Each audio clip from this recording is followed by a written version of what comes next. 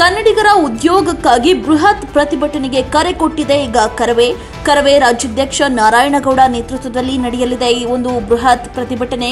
July ಒಂದರಂದು ರಾಜ್ಯದಾದ್ಯಂತ ಈ ಒಂದು ಪ್ರತಿಭಟನೆ ನಡೆಯುತ್ತೆ. ಕರವೇ ಪ್ರತಿಭಟನೆಗೆ ಕನ್ನಡ ಸಾಹಿತ್ಯ ಪರಿಷತ್ ಕೂಡ ಈಗಾಗಲೇ ಬೆಂಬಲವನ್ನ ಸೂಚಿಸಿರುವಂತದ್ದು ಕರವೇ ಸತ್ಯಾಗ್ರಹದಲ್ಲಿ ಭಾಗಿಯಾಗಲಿದ್ದಾರೆ ಕನ್ನಡ ಸಾಹಿತ್ಯ ಪರಿಷತ್ನ ಸಂಘಟನೆಗಳು ಕೂಡ. ಕರವೇ ನಾರಾಯಣಗೌಡ ಅವರಿಗೆ ಪತ್ರ ಬರೆದು ಬೆಂಬಲವನ್ನ ನೀಡಿದ್ದಾರೆ.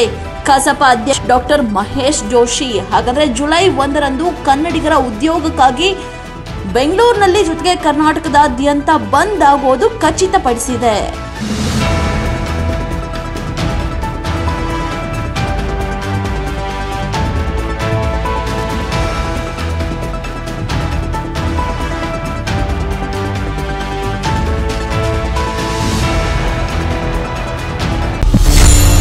ಸಂಪೂರ್ಣ ಬಾಣಿ ನ್ಯೂಸ್ ನಮ್ಮ ನಡೆಗೆ ವಾಸ್ತವದ ಕಡೆಗೆ.